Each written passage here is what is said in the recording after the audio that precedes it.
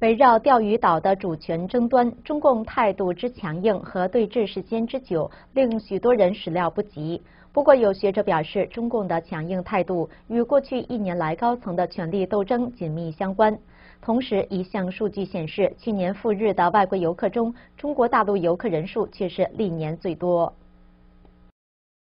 据日本方面指称中共海军舰艇使用火控雷达瞄准日本舰船和飞机后，中共各大军区的海陆空和二炮部队连日来加紧备战。十四号，共六艘中国海监船编队继续在钓鱼岛附近海域巡航，而中央电视台首次以直播的方式高调曝光船队巡航以及近距离拍摄钓鱼岛的片段。日本共同社引述日本海上保安厅的消息说，海监五零船曾要求附近日本船舰离开钓鱼岛中国领海。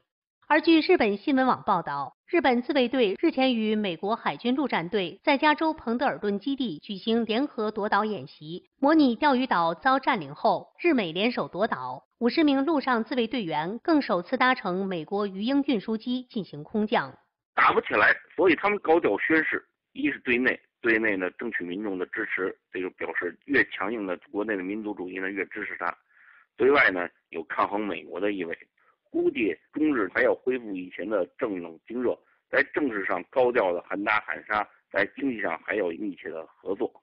美国之音的报道引述日本东京大学东洋文化研究所松田康博的话表示，东京都知事石原慎太郎购买钓鱼岛计划演变成国有化事件，是中日岛屿争端的导火索。但同一时期的中共高层权力斗争和权力交接，激化和深化了中共与日本的矛盾。松田康博说：“中共的权力交接仍在继续，一直到今年三月全国人大开会，一些部门主管官员看着上级的脸色，纷纷猜测，而最终他们选择了强硬政策。因为在权力交接时期，人们往往选择比较强硬的外交政策。”美国中文杂志中国事务总编武凡指出，即使在两会后，中共的内部权斗也一直存在，所以钓鱼岛问题和权斗有关，但不绝对。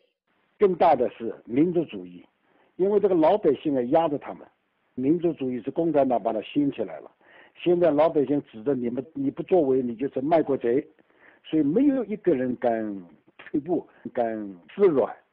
所以民族主义显示出来这个力量啊，可能超过于党内的斗争。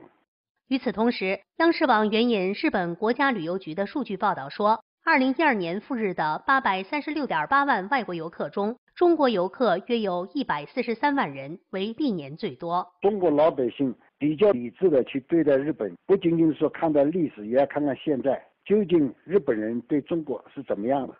据我看到一个资料，百分之五十到六十以上的日本人不想跟中国人打仗了。你光看一个是共产党的要喊要打，日本的右派要喊打，呃，美国人要支持说你们不要打，所以这战争就不一定会打起来。但是叫喊。军队要准备要打仗，这是不会放松的。有网友认为，央视的这则消息很讽刺，这脸打的啪啪啪。反日是一时的，但是这种狂热的情绪是保持不了多久的。这种热情一过，当然是一切如常了。呃，该玩的还是要玩，该去日本还是要去日本。官方一再反日喊这么凶，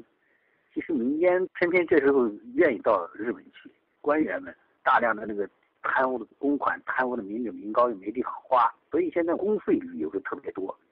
中国权力运动组织发起人胡军指出，这些中共官员们一方面高喊反日，一方面他又跑到日本去高消费，所以真正的敌对势力卖国贼正是这些中共官员。